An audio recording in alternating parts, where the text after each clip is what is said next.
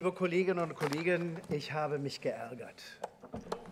Ich habe mich dramatisch geärgert ähm, über die Entscheidung der dänischen Staatsbahn, 100 Züge zu kaufen, in dem Wissen, dass sie in Deutschland nicht einsetzbar sein werden. Und deshalb habe ich diesen Änderungsantrag gestellt, den jetzt die Antragsteller übernommen haben, äh, was ich äh, herzlich äh, positiv finde. Denn ich will noch mal darauf hinweisen, dass das auf dänischer Seite ganz einfach gewesen wäre, eine andere Entscheidung zu treffen.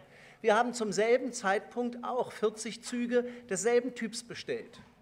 Ja, das ist Alstom als Lieferant, die äh, Corodia Stream bauen. Und 23 der 40 Züge, die wir gezahlt haben, sind in beiden Netzen einsetzbar.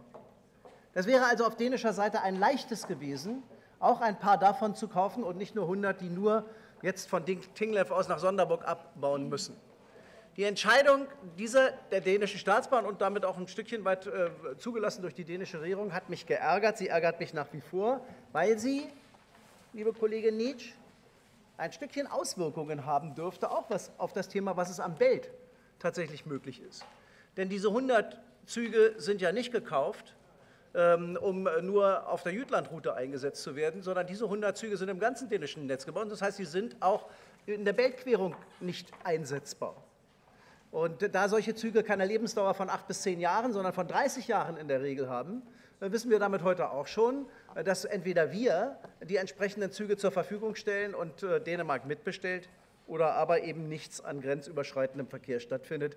Das ist extrem bedauerlich und ich finde, dass die Landesregierung das in ihren Gesprächen mit der dänischen Staatsregierung auch deutlich machen muss, weil das ein Stückchen Affront ist. Vielleicht hat ja die dänische Regierung einfach ein bisschen aber auch auf die NASH-Zahlen geguckt, denn die sollten uns auch ein bisschen ernüchtern.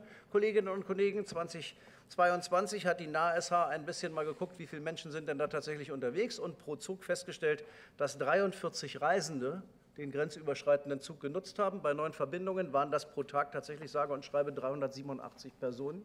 Der Aufwand, den wir getrieben haben, um dafür extra Züge zu kaufen, ist schon gewaltig, meine Damen und Herren. Das müssen wir auch mal ganz deutlich sagen, dass wir da viel Geld ausgeben für eine Strecke, die dann doch mit 387 Personen am Tag nicht unbedingt äh, zu den stärkst befahrenen gehört. So viel äh, zu diesem Teil und ich werde jetzt, äh, Kollegin Nietzsche, meinen Änderungsantrag zurückziehen und wir werden trotz der nicht ganz unberechtigten äh, Kritik des Kollegen Dürrbrock ähm, ihrem, eurem Antrag zustimmen. Weil ich überhaupt nichts dagegen habe, dass man natürlich jetzt mit Dänemark darüber verhandeln muss, wie man aus diesem Desaster etwas Besseres macht. Äh, denn äh, gucken, dass wir mindestens mal bis Fredericia kommen. Nach Kopenhagen kommen wir nicht mehr, aber bis nach Fredericia zu kommen, das ist allemal richtig.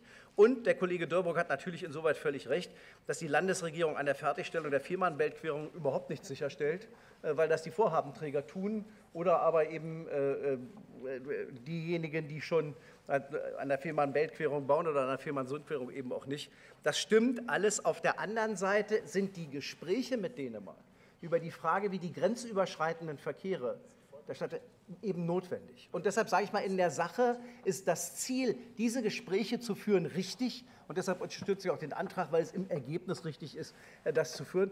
Wir sollten jetzt hier nur nicht so tun, als ob die Landesregierung gerade maßlos daran arbeitet, äh, die Hinterlandanbindung des Fehmarnbelts übrigens äh, sicherzustellen. Und eine klitzekleine Antwort kann man geben, Kollege Dürburg. Was passiert 2029 eigentlich, wenn äh, die deutsche Seite nicht fertig ist? Dafür gibt es ein paar klare Dinge.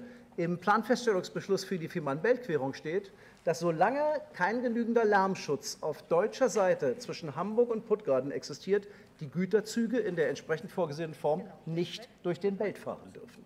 Das ist ähm, auch eine der schwierigen Themen, die wir damit äh, äh, verbinden müssen. Der letzte Punkt, den die CDU da reingefriemelt hat, nach dem Motto, wir sollen auch nach Pattborg gucken, also von Hamburg nach Pattborg, hat mit dem Antrag nichts zu tun, ist aber nicht falsch, weil grenzüberschreitend ist das natürlich in Wahrheit nicht. Es ist aber eine wichtige Verbindung in äh, unserem Lande. Deshalb bin ich immer dafür, dass man gerne darüber redet. Die Aussichten auf Erfolg, Kollege äh, Kilian, da wünsche ich viel Spaß denn im Verhältnis zu dem, was die anderen Strecken, die in Deutschland ausgewählt worden sind, angeht, handelt es sich um eine eben doch dann gering befahrene Strecke. Aber die Bemühungen sollten wir auf jeden Fall eingehen. Ich danke für Ihre Aufmerksamkeit.